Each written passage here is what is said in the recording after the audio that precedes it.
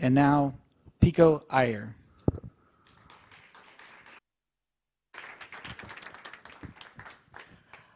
Um, thank you so much, Jamie. He is definitely one of the most generous and inspiring presences I have ever, ever met. Uh, and thank you all uh, for hauling yourselves out of bed at the crack of dawn, as it seems. I think you need a, deserve a Purple Heart of Honor or whatever it's called.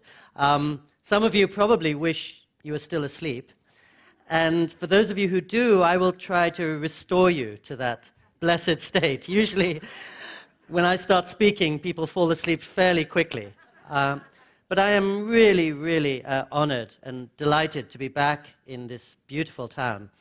Uh, in this case, I, the invitation to be here was extended to me uh, 17 months ago, which is a great luxury. Usually I'm given about 17 minutes of advance notice. Uh, and so, really, for 600 days now, uh, I have been looking forward to coming back here. And in spite of that, you notice that when you look at the front of the room, all you see is this shady character, no computer, no screen, no signs of uh, entertainment of any kind. Uh, and so I really uh, need to uh, issue a heartfelt apology. Uh, I know it can be difficult just to listen to one person babbling in a corner of the room. Uh, I was giving a talk at Google a few years ago, and I was talking to them just as I'm talking to you. And I looked across the audience at one point, and I noticed everybody was looking stricken. they were actually looking sick. and I realized it was because they were waiting for me to shut up and for the entertainment to begin and for me to start projecting slides. And finally, I heard myself say, um, I'm really, really sorry. I don't even have a PowerPoint. So it's pretty much guaranteed everything I say is going to be powerless and pointless. Um, and you may see the, the truth of that uh, before I'm finished. Uh, but I have this sense, and I, I'm sure many of you share it, that these last few months have been a time of constant shocks and surprises and upheavals for many of us. And so many of my friends have the sense that the world is moving so fast that we can't keep up with it and we can't begin to make sense of it anymore. And so I thought that would be a natural topic for me to address this morning. And as I was driving out here yesterday, uh, I passed beautiful Mount Baldy, of course. And I remembered a day many years ago when I got into my car and I drove up into the high, cold, dark mountains behind Los Angeles, which all of you know well, I'm sure. And up near the top, there were actually signs prohibiting the throwing of snowballs. I pulled into a rough parking lot, and there was an old man there in a bobble cap and wire rimmed glasses uh, who was waiting for me. And as soon as I got out of my car, he gave me this deep ceremonial bow, though I'd never met him before. And he insisted on carrying my things into the little cabin in which I was to stay. And then he started heating up tea for me and cooking me a meal. Uh, he even asked if I needed a wife, though I was well taken care of on that front.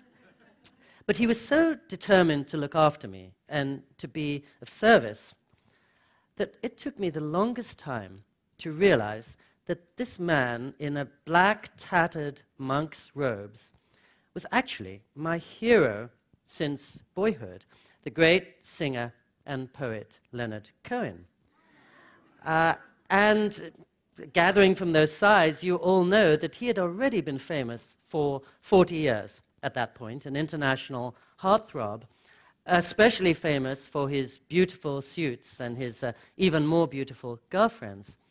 Uh, but in spite of that, or maybe because of that, he had decided to come and spend five and a half years living as an ordained monk in this remote mountaintop sanctuary, just shoveling snow, scrubbing floors, and especially looking after the then 88 year old Japanese head of the Mount Baldy Zen Center.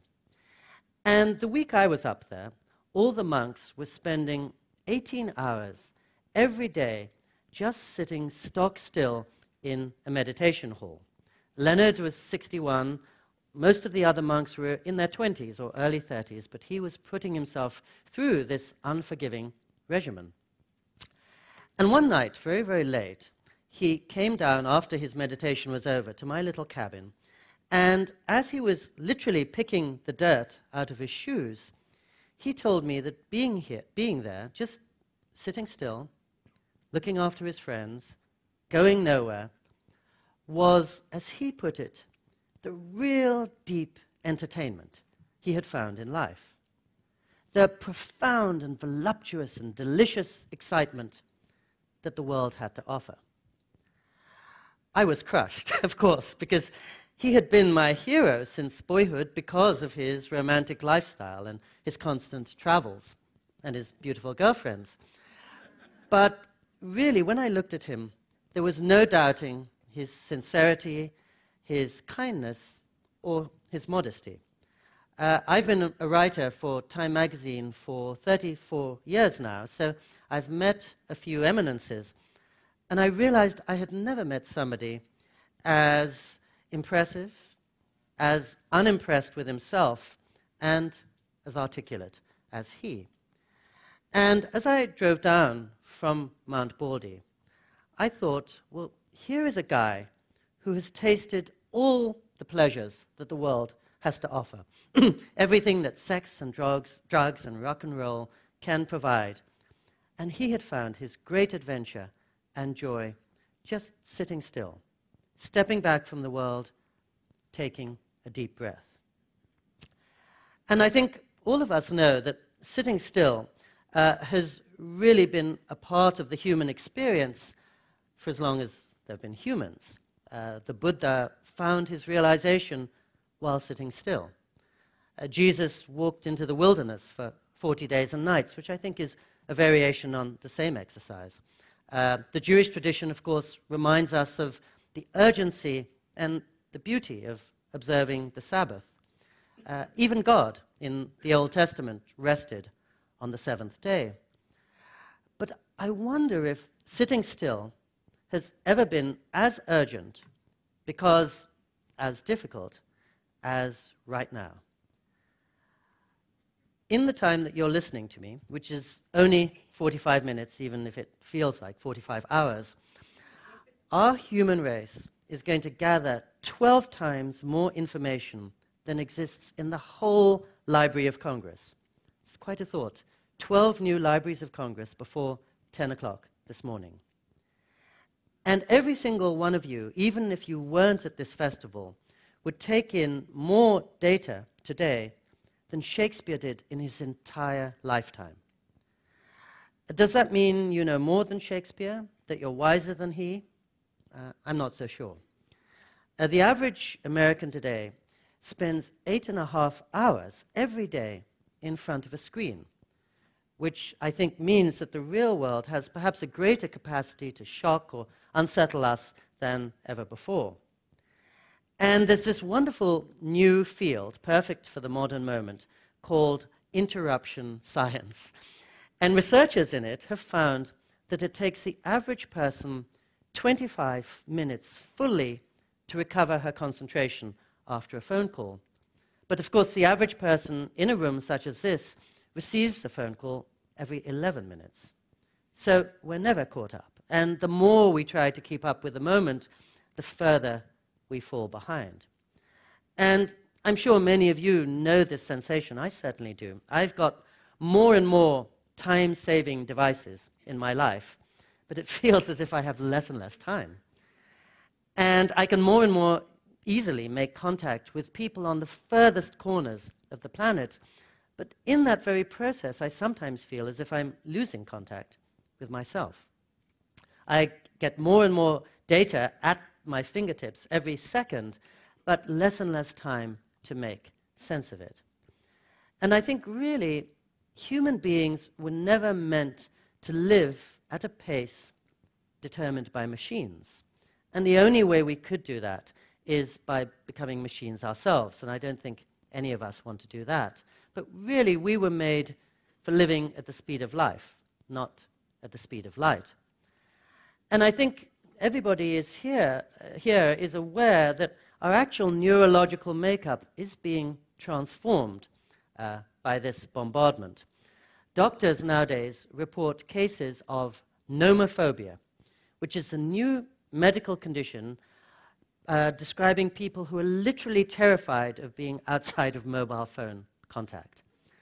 Uh, in China alone, they have 400 internet rescue camps in which kids are yanked away from their devices and actually ad administered cold turkey as if they were trying to get off heroin. But I think our, some of our de devices can be more addictive than the most addictive drug. Uh, in China, in fact, um, a gentleman was found dead in front of his terminal in an internet cafe. But more scary, perhaps, was that nobody noticed he was dead for nine hours. Uh, presumably, they were half dead in front of their own terminals. Uh, and I'm sure you know that the World Health Organization has been quoted as saying that the health epidemic of the 21st century is stress. I just read this morning 50% of the doctors on whom our livelihoods depend in the United States are suffering from burnout. And if there's one thing that anybody here would make a bet on, it's our devices are not going to go away. They're not going to get slower or less powerful. And I don't think we would want them to. Really, I feel that technology has made our lives brighter, healthier, happier, longer. I wouldn't have been able to come and see you today without technology. Uh, I wouldn't have been able to fly over and spend the holidays with my mother last month without technology. Um, I wouldn't actually literally be able to see you without the contact lenses that technology has been kind enough to afford me. And as somebody with asthma, I wouldn't be able to breathe without technology. And I think the good news when we think about how to make a balance with our devices is that the problem is never in the machines, it's in us and our inability to make wise or balanced use of our machines. And I think if the problem is in us, the good news is that the solution is in us too. Uh, I, for my sins, travel a lot. Uh, I was in, just in the last few months, Bhutan and Banff and Varanasi, India, and New York City and Japan. And last week I was tramping central Alaska in minus 41 degrees heat wave. Um, and I think the single most surprising thing about my travels is to find that the people who are most determined to set limits on technology are actually the same people who have created our technologies. Uh, I spend a lot of time in Silicon Valley, and when I go to Google, uh, my friends there point out the um, beach volleyball court, which is where they do most of their work, they say. Uh, they show me how every single room on the Mountain View campus has a meditation room, uh, every single building, rather. And I was told that there are more than a thousand yoglers on that campus alone, who are people who don't just practice yoga, but actually have been trained to be teachers of it. And just three weeks after the last time I was at Google, I was up in Vancouver, and I was asked to do an onstage conversation with Evan Williams, who is the young man who co founded Twitter. And I'd never met him before, but when I met him, to my surprise, he was wearing a button that said, Talk to me about reading, writing, and obvious ideas. Not what I had expected. Uh, the man who co created the 140 character form of communication is now most committed to long form journalism. And uh, when I began speaking properly to him, I found Mr. Williams really unexpectedly deep, quiet, reflective person. And he told me that not only did he meditate every day, but he led his entire staff in meditation every morning. And he couldn't really see how anybody could function in the midst of our technological bombardment without stepping aside. Uh, and he is the person who's introduced two words into the English language tweet and blogger. And so when he says something, you listen. Uh, many, many people in Silicon Valley, as you probably know, observe what they call an internet Sabbath. and they go completely offline for 24 hours or 48 hours every week so that they'll have something fresh and creative and imaginative to offer when they go online again. They know that technology has really given us everything except a sense of how to make discerning use of technology. And for that, we really have to go inside ourselves. And I think many of us, certainly I, um, have this funny double standard. Uh, I remember a few years ago, I, I went to my doctor for my annual checkup, and he looked at my blood test results and he said, Well, you seem fine, but, there's always a but, you're not getting any younger. So he said, You should do 30 minutes of intense cardiovascular activity every day. And of course, the minute he said that, I signed up at the local health club and religiously, so to speak, do my 30 minutes on the treadmill every afternoon. But just a few days later, I, I, was back in Kyoto, Japan, and I was talking to a very wise friend. And he said to me, Well, you spend all your time traveling around and handling emails and in airports. Have you ever thought of just spending 30 minutes sitting quietly in one corner of the room every morning? And I said, No way, you know, I, I don't have time for that. Uh, I especially don't have time because I'm going to the health club every day now. And later, of course, I realized what a silly and short sighted answer that was. It was really as if I'd said, I don't have time to take medicine. I don't have time to see the doctor. Uh, I don't have time to be happy. And I think deep down, for me at least, really it's a matter of happiness. And sometimes I tell myself, if I'm really happy, racing from conference call to text message to email to CNN breaking news update to Facebook status upgrade, I should certainly continue. But my sense is that my deepest fulfillment and joy doesn't come in those moments. And I found that I am really happiest when I'm most absorbed in something, completely lost in a movie or a concert, or, for example, the conversation we got to listen to last night uh, a deep conversation with a friend, an intimate encounter with my loved one, that's when I really feel myself. And I'm least happy when I'm all over the place and scattered and distracted. But I think often we have a great facility for running away from really where our happiness lies. And of course, for centuries, people have noticed that wise people are seldom too busy, um, and busy people are seldom very wise. Uh, some, some years ago, I had a much too typical Californian experience. Uh, I was in my parents' home in the hills of Santa Barbara, and I saw this distant knife of orange cutting through a faraway hillside. So I went downstairs uh, to call the fire department. And when I came upstairs again, five minutes later, our whole house was encircled by 70 foot flames. Uh, they were moving at 70 mi miles an hour, whipped on by sundowner winds, a little like the ones that we had yesterday. And this would go on to become the worst fire in Californian history at that time, taking down 450 houses or more. And ours was really almost the first house that it visited. And uh, I was able to get out of the house, but I actually couldn't leave the remote mountain setting where it sits. So I was trapped there for three hours. And I watched the forest fire slowly pick apart our library, my bedroom, my study, and reduce everything we owned in the world to ash. And so that night, and many, many nights after that, uh, I was sleeping on a friend's floor. And at one point, another friend, a local friend who was a school teacher, came up to me and he said, Well, this floor doesn't look so comfortable. I have the perfect place for you. And he told me that every spring he took his classes up to a retreat house in Big Sur.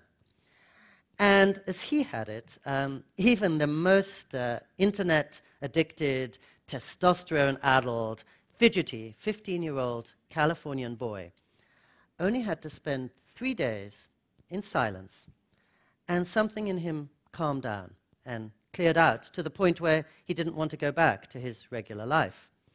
And I thought, well, anything that works for a 15 year old boy should work for me. So I asked my friend, well, what kind of place is this exactly? And he looked fairly embarrassed and he said, well, um, actually, it's a Catholic hermitage. Uh, and he knew that this was not the ideal answer because I'm not Catholic and I'm not entirely a hermit. But I looked at the floor on which I would otherwise be sleeping and I thought nothing could be worse than that. So I got in my car and I drove three hours north up the coast. And as just about all of you know, Coast Highway 1 gets narrower and emptier, and then you're just in this grand elemental landscape with fields on one side and the great still blue plate of the Pacific Ocean on the other. And then I came to an even narrower road, barely paved, that snaked for two miles up to the top of a mountain where this monastery sat. And I got out of my car, and the silence was pulsing. Um, it wasn't really an absence of noise, it was a presence of 800 acres of pristine wilderness and everything that I walk or sleepwalk past um, in the rest of my life. And I went down to the room in which I would uh, sleep, and there was a narrow bed there, and a long desk, and an even longer picture window looking out on a small, private, walled garden, and then just 1,200 feet of golden pampas grass leading to the great blue expanse of the ocean. And just as I was standing there, a blue jay alighted on my fence. And I stared at it, transfixed, as if it was a kind of miracle. And later I thought, well, in our home in the hills, there had been blue jays all the time, but I would never have thought to stop and look at it. A, a little later, bells began ringing in the chapel behind me, and it really felt as if they were ringing inside of me. And after night fell, I took a walk along the monastery road under this great overturned salt shaker of stars. and I watched the taillights of cars disappearing around the headlands uh, 12 miles to the south. And I realized that, honestly, I had never been clearer, calmer, happier. Um, on the way up, a few hours before, I'd been conducting arguments with myself and with this friend and that friend in my head. I'd been fretting about deadlines and worried about obligations and guilty about leaving my mother back in Santa Barbara. But as soon as I arrived, all of that just fell away. And it was really like seeing my life from the top of a mountain, remembering what I care about, what's most important to me, and therefore resolving exactly what I should do in the following six months. Uh, and so, of course, I, have gone back to that place many times, 80 times by now. Uh, and sometimes I've stayed there for three whole weeks if I'm lucky. Sometimes, if all the retreat rooms are full, I actually stay with the monks, uh, as Jamie was saying, in the enclosure. But at some point, I realized that the place itself was not important. The only thing that was liberating me was just my decision to take a break, which these days involves a certain courage to turn away from the text messages and the emails and the, and the voicemails for even 72 hours so that you'll have something useful uh, to bring back to them. Uh, and I'm sure many of you have had the sensation of walking into a museum and you'll find yourself sometimes in front of this very big, confused, sometimes shifting canvas. And if you're standing this close to it, you can't begin to see what's going on. You have to step back, and then further back, and then even further back. And if you're far enough away, suddenly it clicks into focus. You can see what the canvas is representing, and in all senses, you can catch the larger picture. But I think that's exactly how it is with our own lives and with the world these days. You can only begin to see what's going on by moving away, at least for a short time. And as I say that, I'm guessing that every single one of you in this room has some way that you have found of opening up space in your day and preserving your sanity. Uh, maybe you practice yoga, or maybe you go for a run every day. Maybe you play golf, or sail, or cook. Maybe some of you have a meditation practice. But I think one way or another, we need to do that if we're not going to be overwhelmed by the avalanche that comes in on us every minute. Uh, even 100 years ago, you probably know that J.P. Morgan used to take two whole months off every year and famously said he could never get done in 12 months what he did in 10 months. Uh, I have a friend at Google, actually, who every week, at the beginning of the week, he opens his appointment book and he makes appointments with himself. In other words, he says from 3 p.m. to 4 p.m., I will just be quiet. Because he knows only by doing that will he have anything useful to bring to the rest of his appointments. And I think one reason that we need to do this is that whoever you are, however robust your resume or your bank account, life will make a house call, uh, more than once probably. Uh, a few seasons ago, I was in my small apartment in Japan, and suddenly, in the dead of night, the phone began to ring. Uh, good news never comes at the dead of night, but uh, I fumbled my way across this darkened space, and I picked up a receiver, and I heard a strange voice saying, um, Pico Iyer, please. I said, Yep, that's me. He said, Please, can I speak to Pico Iyer? I said, Yeah, speaking. And he said, uh, You don't know me, but my name is Spencer, and I am a nurse here at Cottage Hospital in Santa Barbara, and your mother has just had a stroke. And two days from now, she's going to go through six hour surgery. Uh, you are her only living relative. It would be a good thing if you were back here. So, of course, I instantly gathered all my things. I jumped on the next plane back. And I ended up spending 35 days in the ICU with my mother. Uh, she's okay now, but at that point, every day, really, she was teetering between life and death. And of course, I think, like anybody, as I was sitting there those 35 days, I was thinking um, all the books I've written, all the books I've read, all the emails I've handled, all the places I've been, none of that is going to sustain me or support my mother. The only thing uh, that will help me is whatever I've gathered inwardly. Uh, and again, to go back to that double standard, we sometimes forget about the virtues of an inner health club. But if you think about it, if your body is really buff and toned, but your mind is weak, you're in trouble. But if your mind is strong, then even when your body is weak, maybe you can get through. Really, the mind is much more essential to our well being than the body, but it's easier and easier to concentrate on the treadmill rather than just the 30 minutes of quiet. And so even before um, my mother's stroke, I had concocted what I call a 3% rule for myself. And I had noticed that if I went to this place of silence just for three days every season, that would represent only 3% of my days, but it would completely transform the other 97%. And if I were just to spend 30 minutes sitting quietly in one corner of the room every day, Again, that would represent only 3% of my waking hours, but it would clarify and illuminate the other 97%. Uh, and this is probably the time for me to make a confession, which is I am too uncoordinated to do yoga or Tai Chi, uh, and I'm too indisciplined to do meditation. Uh, my wife is Japanese, and she does all of those. Uh, and every morning she wakes up at 5 o'clock and she rings a little bell and then she sits stock still in front of a little homemade space she's made for herself before going off to Qigong and yoga. I sort of blearily stare at her from my bed and say, Well, I'm getting clarity and focus by osmosis. But um, somehow I don't think it's worked like that at all.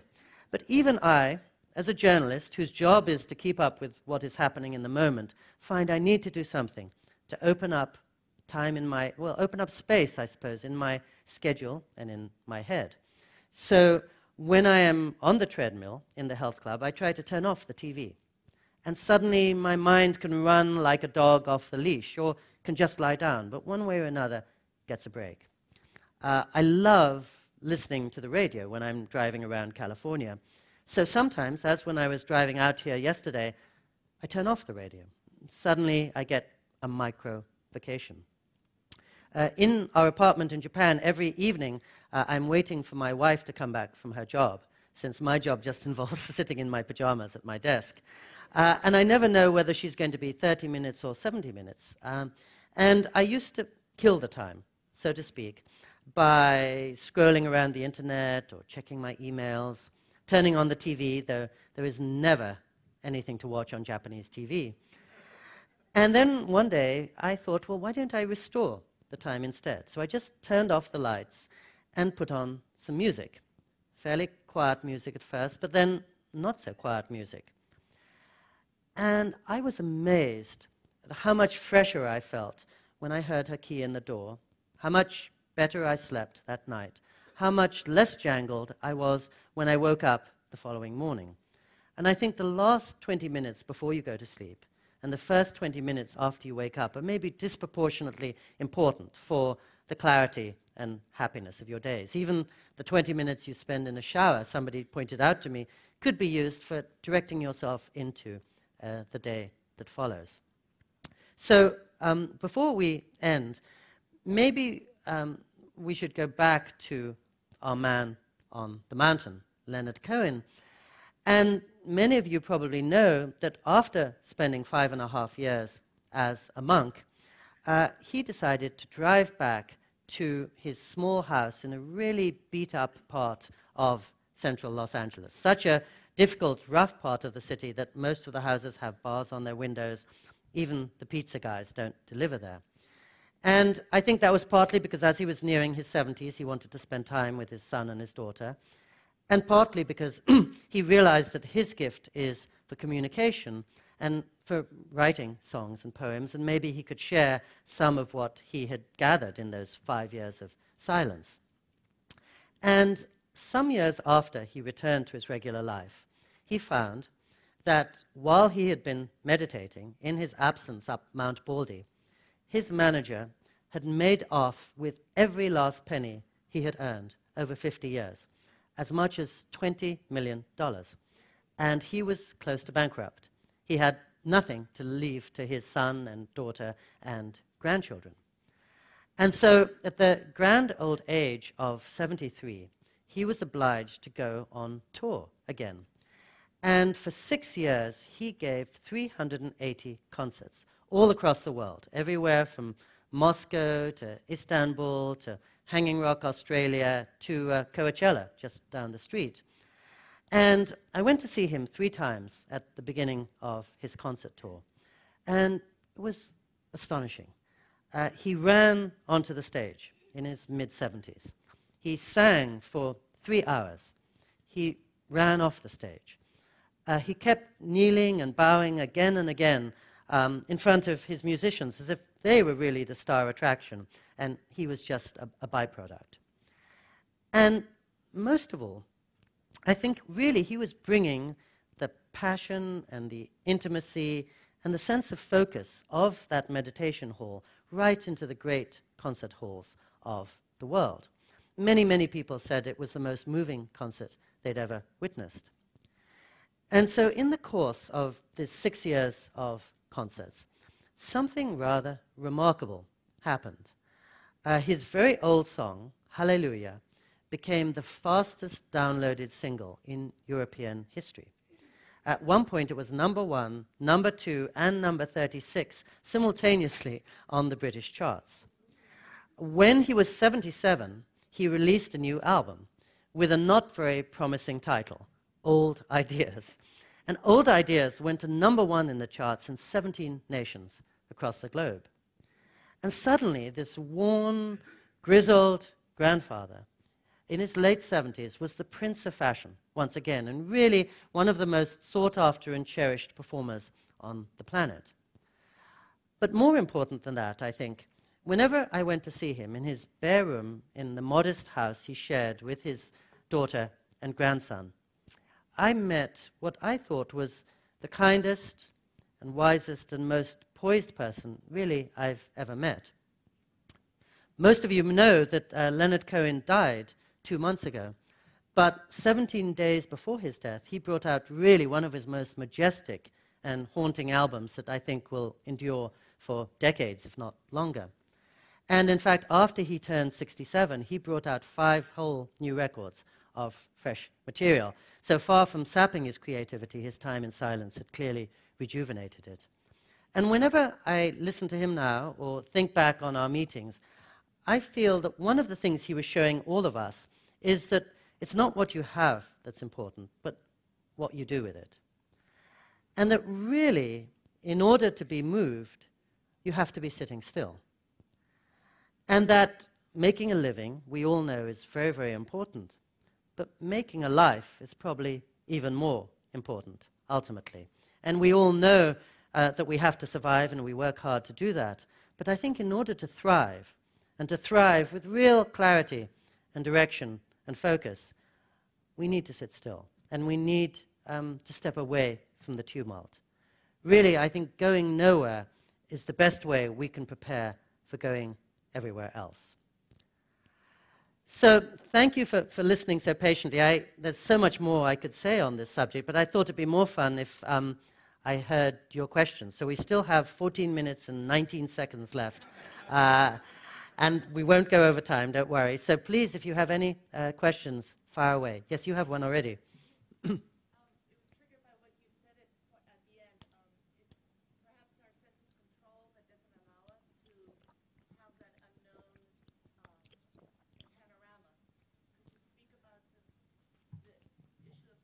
Yes, well, it's a really beautiful question. You put your finger on it. For those of you who couldn't hear, it was about we have a sense of control that keeps us away from seeing the unknown in the great panorama. And when I was talking about the forest fire and the stroke and the other ways in which life can make a house call, I was speaking really exactly about that, which is, I remember when I was a kid, I imagined I could make a plan, everything would go according to my plan, I was on top of the world, and the world would surrender to me. And while that's true in some cases, and up to a point, I think the older you get, the more you see that you have to surrender, as you say. And the, the world has plans for us very different from our own plans, and sometimes much wiser.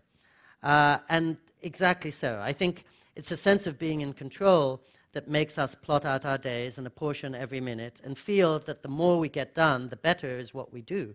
Um, when in fact, quantity and quality rarely go like that. And every worthwhile day is going to throw us back, throw us you know, off our sense of control, and present us with things that we never saw coming. So, exactly, I, I love what you said about the unknown. And I sometimes think that um, I never trust nowadays the things I can explain. So, for example, I live, I chose in my late 20s to live in Japan. And I've been there for 34 years, though I still live there on a tourist visa. I don't speak um, much Japanese. I horrify my friends by um, not eating much Japanese food. I, of course, I never wear Japanese clothes. And if you ask me, why do you live in Japan? And you might ask me, why did I choose my wife as opposed to the many other wonderful and attractive people there are in Japan? I could give you a lot of reasons, but I don't think any of them would be the truth. And the truth lies exactly in that unknown.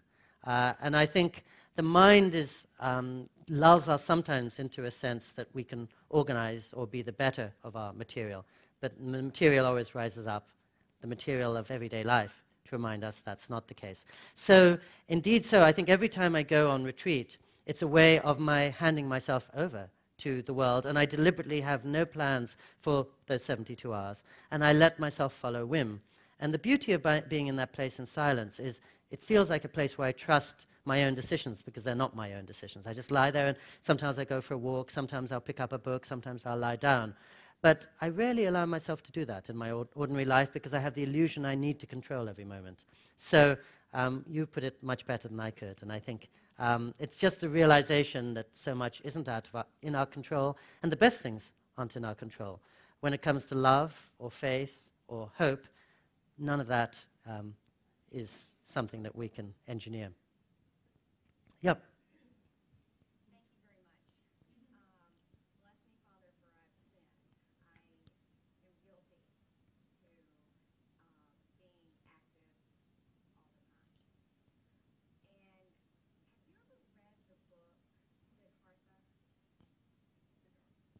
Yes, is that the question? Or? Um, so the, the lady was saying, I think what all of us, certainly I, could say, which is, Bless me, Father, I have sinned. I and you are guilty of being active all the time. And she was asking if I'd read the book Siddhartha, uh, which is um, a much too salient question, because in fact, my first name is Siddharth. um, I don't use it because it's impossible to, I, even I can't pronounce it, and it's hard to spell and hard to say. So my parents gave me this very handy international name, Pico. Um, beyond that, I actually wrote an introduction to the book Siddhartha uh, when they brought out a 90th anniversary edition, maybe three or four years ago. Uh, and I remember when I was at boarding school in England, uh, we had something called speeches, in which every boy, it was all boys, had to get up and declaim for 15 minutes from a great classical work. And most people did Homer or Virgil or Thucydides or whatever, but I chose mischievously to do Siddhartha. And I thought that's just what a 15th, board, 15th century boarding school needs to hear. Um, so, yes, it has been very close to my heart for, for 45 years or more. Uh, and I seem to remember one of the great sentences in Siddhartha is about, I can wait, I can something, I can something. And I can fast, I can wait, I can sit back, essentially.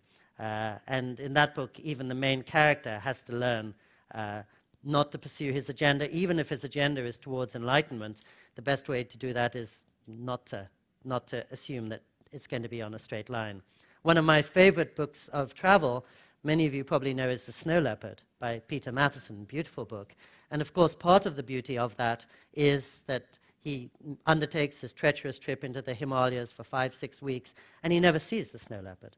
But what he sees is much more important. He sees himself, he sees the folly of control and ambition, he sees the folly of expectation, he sees that if he's concentrating on looking at the snow leopard, he's going to miss everything else. Uh, just two days ago, I was looking at Annie Dillard's beautiful book, Pilgrim at Tinker Creek. And I suddenly understood the title because I think most pilgrims go to Lourdes or go to Lhasa or go to some specific place. But she goes to a place we've never heard of, and she's not going to see some specific thing as we do when we go to Notre Dame. She's going to learn how to see so that everything she sees will wake her up or be something beautiful or sustaining.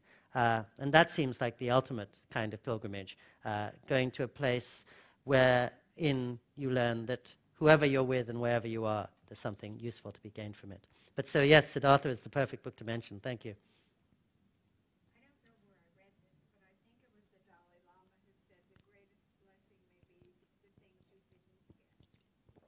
Yes, so um, the question has to do with a quote, maybe from the Dalai Lama, which is um, the greatest blessings um, are the things that you didn't get. And I've certainly heard that Teresa of Avila, great Catholic saint, said, uh, We all get much more from unanswered prayers than from answered prayers, because often our prayers aren't for the right thing.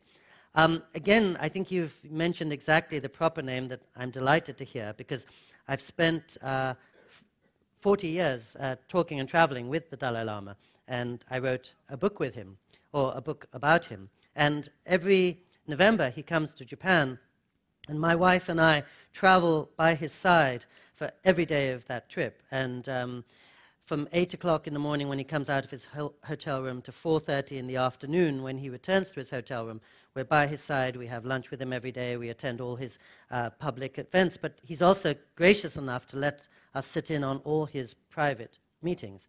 And when I talk about the value of stillness, that's partly as a result of watching the Dalai Lama very close up. Because uh, when I'm with him for those eight and a half hours every day, uh, he never once separates himself from the crowd. The minute he comes down, and we come down from his hotel room to the lobby, of course, there are a thousand people crowding in on him, asking for his blessing or a photograph or the answer to life. And it continues right the way through every minute of the next 510 minutes. And quite often, his hosts will generously say at lunchtime, Do you just want a few minutes by yourself? He says, No, no, no, we should all be together. So he never rests once in that time. And although I am 22 years younger than he is, I am completely exhausted just from watching him go through his day. And he seems tireless at the age of 81. And of course, that's partly because by the time I, met, I meet him at 8 in the morning every day, he has already done four and a half hours of meditation. He wakes up at 3.30 every day and spends four and a half hours collecting himself, and I think that's partly what allows him to be so focused and attentive uh, with everybody he meets. And if it was the Dalai Lama who said, um, the best things come from not getting what you want, uh, it would, of course, be really appropriate for his situation, because if you look at it in one way, his life is tragedy. He's been separated from his people for 58 years now. Uh, he hasn't been able to see the six million souls that he rules. Uh, and Tibet is more and more every day becoming a part of China. But, as he would put it, every seeming loss is an opportunity. On the other side of the ledger, he's got to come to California every year. He's got to share his wisdom with the entire world. He's got to learn from the entire world. Uh, and he's enjoyed opportunities that no Dalai Lama has ever enjoyed before. And I remember I heard one remarkable thing about him, which is that when he made his 14 day flight over the Himalayas at the age of 24 into freedom in exile, as soon as he arrived in India, having left Tibet, maybe for the last time, he turned to his brother and he said, Now we are free. Which is an amazing thing for an exile or a refugee to say, having been propelled out of his homeland. But he realized that outside Tibet, he could perhaps do many more things within the Tibetan community and across the globe than he could have if he was still back in Tibet. So, exactly as you say, as a little boy, he might have thought, My dream is to live quietly here in Tibet, overseeing his people. He never got that dream, but instead, he's got so many other things. So thank you so much for invoking him. Yes, please. What's the occupation of my wife?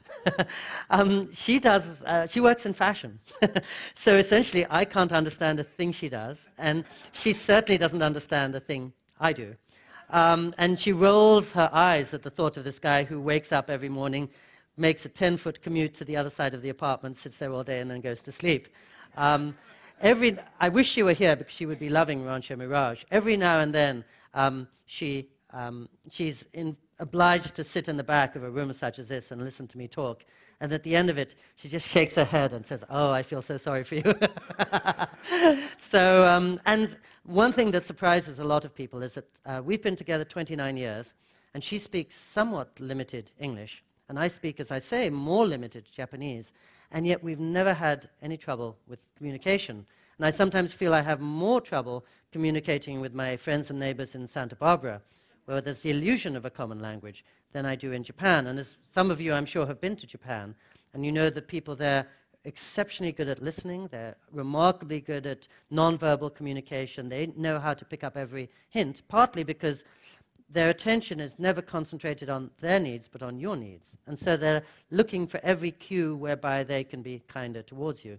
And of course, that's a great blessing, and I've probably been the recipient of that. But uh, um, yeah, so she, uh, she can take almost anyone, with the exception of her husband, and make him look respectable. Oh. Um, maybe time for one more question. Two minutes 39. Yes.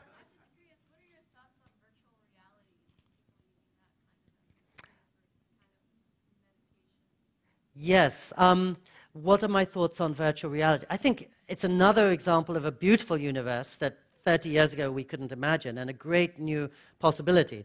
And again, when I was speaking, I said that um, the online world can't really bring us to a space of quiet, but that's wrong, because virtual reality, and there are many sites and even apps on your iPhone that will take you into spaciousness or teach you to meditate or one way or another give you a space of calm. So I think it's a terrific thing as long, again, as we know how to use it judiciously. And I think my one concern as a journalist is that uh, we get so much of the world through our screens these days, and we have a very mediated reality. And I think sometimes we know least of all these days about um, the places we hear most about. Uh, so I spend a lot of my time traveling to North Korea or Iran or Cuba, and as soon as I arrive in any of those places, I find they're radically different from even the articles I might have written about them back here or the articles that I read. So I think virtual, virtual reality is a wonderful new blessing so long as it doesn't supersede real reality and human reality. Um, one minute, so super quick question, or I'll let you go to your next event. Good. Thank you very much for listening so patiently.